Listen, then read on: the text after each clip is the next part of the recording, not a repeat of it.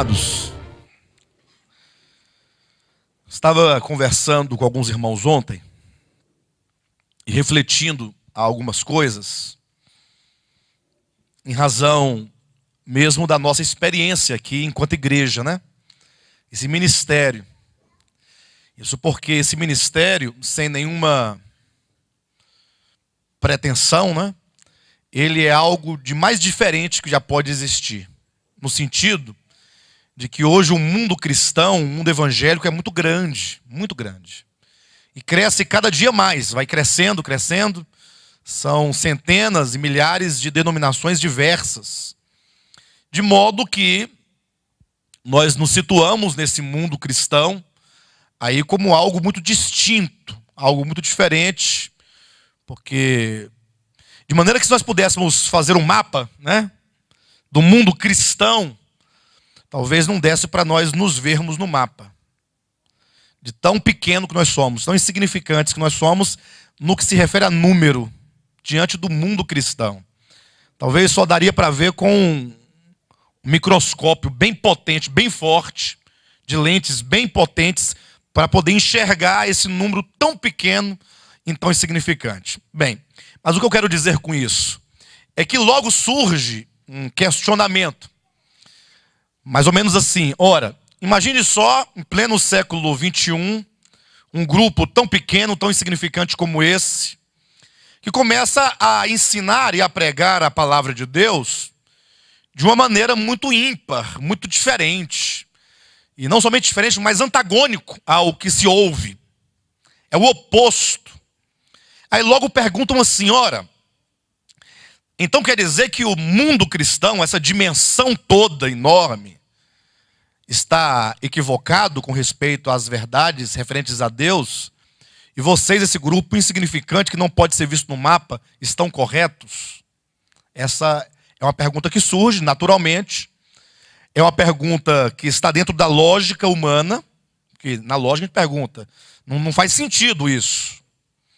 E aí, nesse momento, porque nós falávamos isso ontem, eu conversava com alguns irmãos essa questão ontem, eu coloquei da seguinte maneira: que eu tenho uma esperança no meu coração.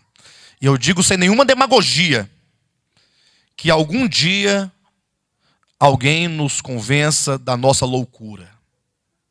Alguém nos mostre que nós estamos seguindo um caminho totalmente errado, totalmente equivocado. Mas isso aí é uma esperança que você tem? É porque, na verdade, nós somos confrontados constantemente com isso. Então, o que nós devemos fazer?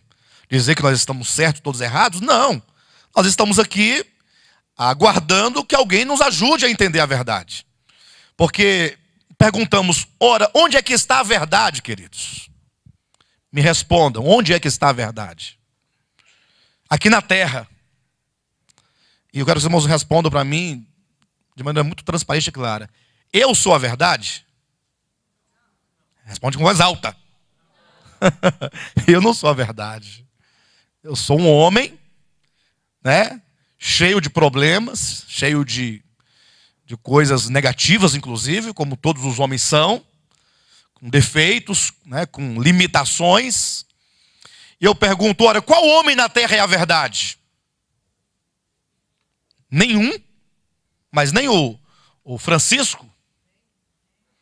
Não, o Francisco não, não, não é o Chiquinho, eu falo, o Papa Francisco. Não é a verdade? E se fosse eu citasse aqui o maior líder evangélico da atualidade, também não seria a verdade? Eu pergunto, e qual é a denominação que é a verdade? O Ministério Apostólico de Volta à Palavra é a verdade? Não é a verdade? E a Assembleia de Deus é a verdade? A Batista é a verdade? A Presbiteriana é a verdade? A Universal é a verdade? Ora, se nenhuma denominação é a verdade, eu pergunto, queridos, olhem para mim em nome de Jesus, onde está a verdade? Aí talvez uma pergunta mais sensata inicialmente seria: Deus é a verdade, Jesus é a verdade, não é? Jesus é a verdade. Fala, o Pai é a verdade, o Espírito é a verdade, o Filho é a verdade, porque a Bíblia declara que Deus é a verdade. Tudo bem, mas eu pergunto: e onde está esse Deus? Como você pode conhecê-lo? Como você saberá a respeito dele? Como é que você pode conhecer esse Deus? Onde é que ele mora?